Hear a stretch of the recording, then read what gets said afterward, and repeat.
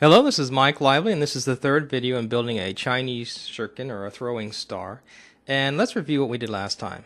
Well, we created an image in Photoshop and then we exported it uh, for the web, and then we just dragged and dropped it right into a plane in Cinema 4D. So I brought it in plane, just dragged and dropped it right into a plane.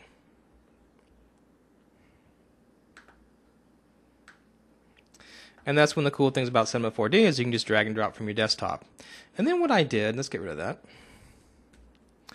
is I uh, created a cylinder and uh, I made that the body of my uh, shuriken. And then I created tiny cylinders and I basically punched a hole using the array modifier. Now let's just cover something real quick here. Where does the array modifier live? It is right here in this uh, panel right here. And you have lots of interesting things that we're going to use. Basically, array modifier and the boolean is we're going to use to build the rest of the shuriken. So now my shuriken is hitting because once I cut the array holes, my x-ray went away. So what I'm going to do is I kind of just bring up the, uh, the image a little bit so I can see the screen. So I've lost sight of my image plane. That's bad, but I'm just going to bring it up a little bit so I can see it and just keep my modeling going on. Uh, there's many ways to do this, actually more than one way to skin a cat. we're just going to keep going on in this vein so you get the idea of how to use basically the array modifier and the boolean, and then we're going to show you how to put the image onto this object that we create. So let's come along here, and I'm going to bring the plane up just a little bit. Let's rotate this so we can see what we're handling. And let's just bring the plane up so we can see it. And we just know we got that behind us. We need to cut a hole in it. And my next thing is to create a little uh, basically cube here, an elongated or a rectangle. Going to put it right here, and once again use my array modifier and boolean to cut a hole in it. So let's go ahead and get off of that and bring out a cube.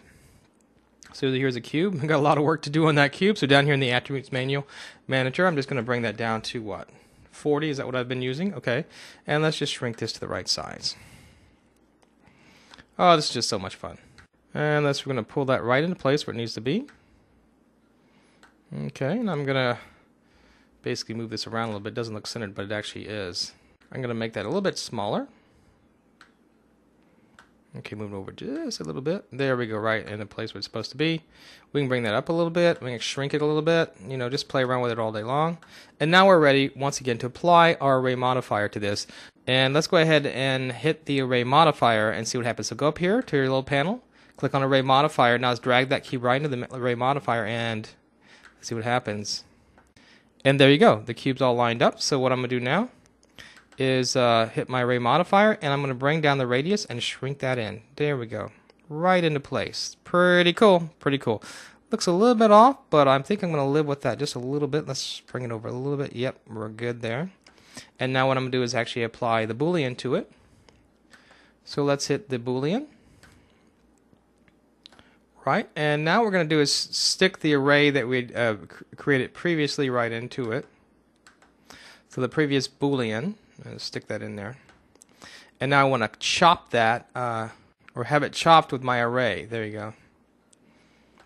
Okay.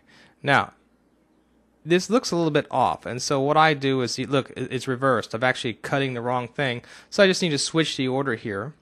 So we can just switch one with... So I've actually put it in the wrong place. Let's bring it up. Uh, not quite. Let's switch the order. And there we go. Now that's actually looking pretty good. I'm actually starting to cut some nice holes in this thing. Just one more thing to do is just put another cylinder in there, and I'm going to start naming these. So let's just call this uh, uh, second cut. And I got one more thing to do, and I'll be done with this particular image. And so I want to actually put a big cylinder right here. And then I'm going to use this and cut my second cut with that cylinder, and then I'll be done with my throwing star. So let's bring out a cylinder. And let's move it into place. We're going to go to our attributes manager and change some of the object coordinates.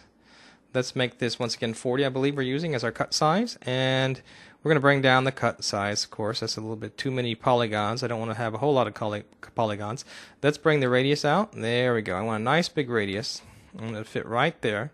Let's turn this and close in on it so I can get that radius just right. I really want to get this good. Well, whenever you have something to select, remember that's what you're going to rotate around. And so let's bring that radius up a little bit. There you go. Let's bring it out. A little more radius there. Uh, now we're starting to get there. Yep, cutting right through there. And all I want to do now is just apply that array modifier. And when I do, guess what? I'm going to have a shuriken. So let's go ahead and go here to our little uh, panel and go to array. And let's just stick our array in there.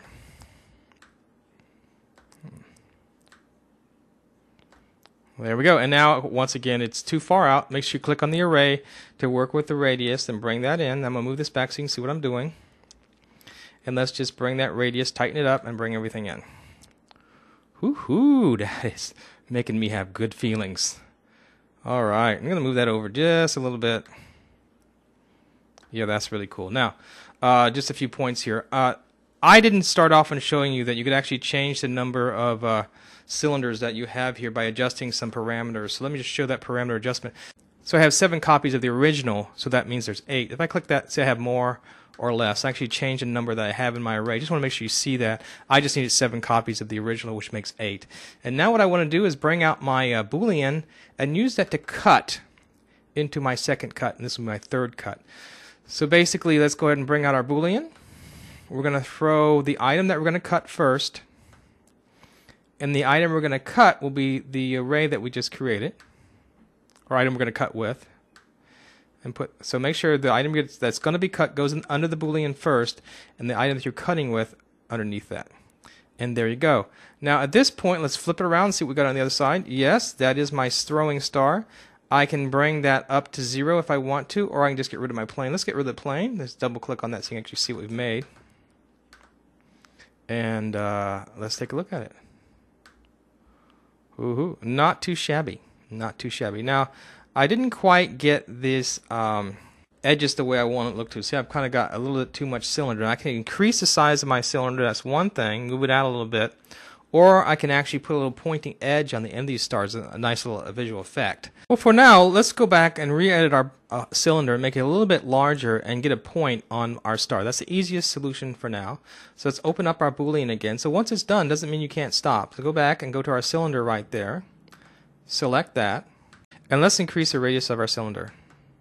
And notice as I increase the radius, see how it's tightening up there? And I actually want to move the cylinder out a little bit. So I'm actually going to change its position. So I'm going to go to its so I'm going to go to the array and actually move the array cylinders out a little bit. So let's go back to our object and go to our radius.